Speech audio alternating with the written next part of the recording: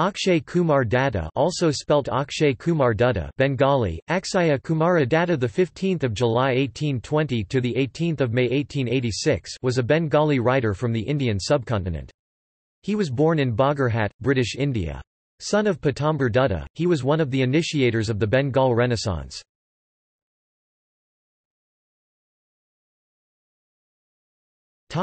Early life and studies After studying in the Oriental Seminary under the special care of Hardman Jeffroy, he had to give up studies because of the death of his father and go job seeking. However, that could not put an end to his yearning for learning. At the Sovabazar Rajbari Library, he studied and mastered calculus and geometry. He had learnt Sanskrit and Persian, and read the Hindu scriptures at school. He acquired proficiency in French, German and various Indian languages. He composed the poetry book Anangamohan at the age of 14. While a youngster he used to translate news items and features for ISWAR Chandra Gupta's Sambad Prabhakar. He even studied in medical college for some time to gain knowledge of botany, zoology and chemistry.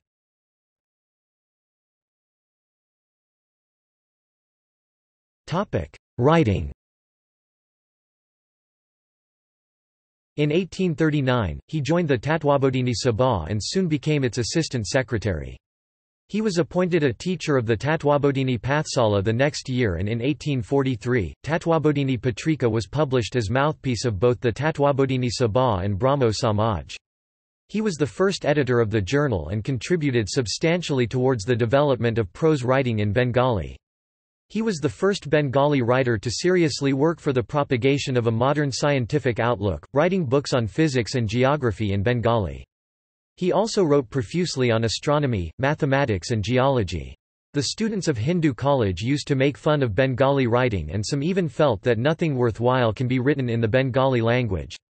However, whenever, Tatwabodhini Patrika came out they not only read it seriously but even brought it to the attention of one another.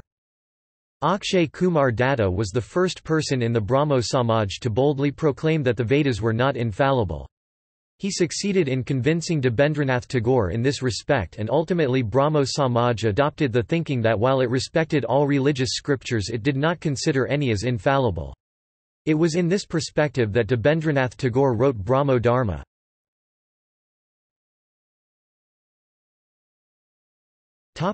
Magnum opus In 1855, he developed some kind of agonizing cerebral problem and could not continue with his massive work for the Tatwabodhini Patrika. His work was such that sometimes he used to spend the entire night writing.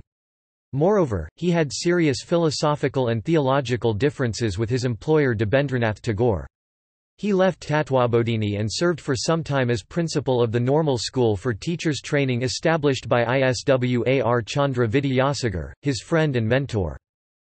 His magnum opus was the two-part Bharatbharshiya Upasak Sampraday Volume 1, 1871, Volume 2, 1883.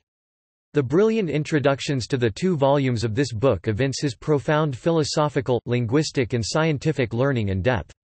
Among others, Max Muller, Monier Williams and Rajendralal Mitra were greatly impressed by his profound scholarship, though not agreeing on all points.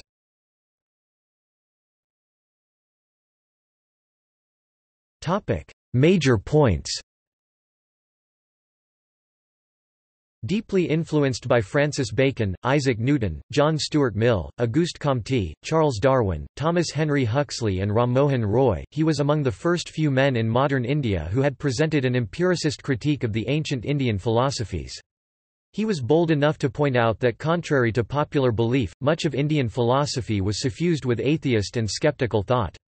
For example, Samkhya was professedly atheist, Patanjali, yoga, while no doubt theist, basically explained the applied aspects of Samkhya. Vaisheshika traced the ultimate reality to Paramanu, i.e., atoms. Nyaya studied the logic and methodology of studying reality. Purba Mimamsa of Jaimini poo-pooed gods. Even Vedanta, while accepting that Brahma was the ultimate reality, said that God was not the creator but the constructor of the world. Jainism, Charvaka philosophy and Buddhism also had no place for God, he showed. He was an agnostic and went against all religions, considering them to be harmful for humanity.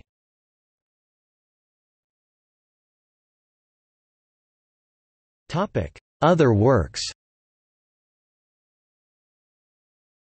His other books were, Bayabastar Sayat Manabprakritir Sambandha Bichar based on the Constitution of Man by George Combe, Dharmaniti, Prachin Hindutar Samudrajatra o Banijya Bistar published posthumously by his son Rajani Nath Datta, Charupath in three volumes, and Padarthayabidya.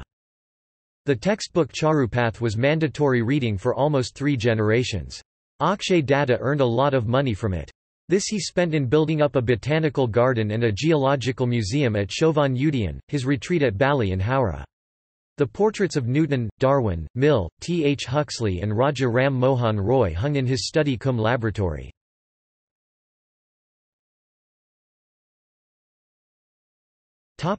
Personal life His family life was not happy. Relations with both his wife and his sons were strained. In a sense he died a lonely man, leaving a substantial amount for the Indian Association for the Cultivation of Science. A few days after his death in 1886 at Bali in Howrah, a meeting was held in Calcutta where tall promises were made on how to immortalize his memory. But absolutely nothing emerged and eventually he became forgotten. The renowned Bengali poet Satyendranath Dutta was his grandson.